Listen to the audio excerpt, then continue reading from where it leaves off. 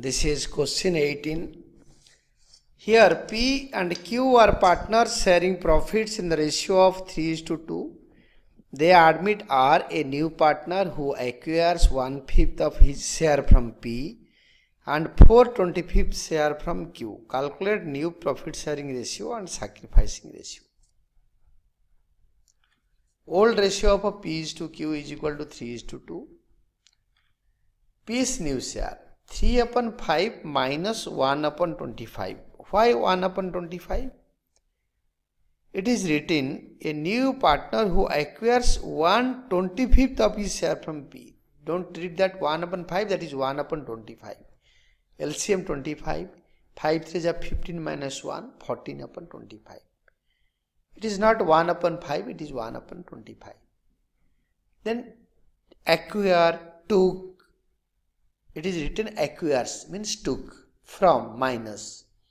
And q new share it is 2 upon 5 volts here. Minus it is written from p and 425th share from q. Minus 4 upon 25 425th share from q. That is equal to LCM 25 10 minus 4 that is 6 upon 25 now this is P and Q and R's new is R is getting 1 25th from P and from Q 4 upon 25th. Hence LCM is 25. 1 plus 4 is equal to 5 upon 25. Therefore, the new ratio of P is to Q is to R is equal to 14 is to 6 is to 5. Sacrificing ratio is equal to old ratio minus new ratio. P sacrifice, you know this is 3 by 5 old share minus new is 14 upon 25. LCM is 25 that is 5 3 is 15 minus 14 that is 1 upon 25.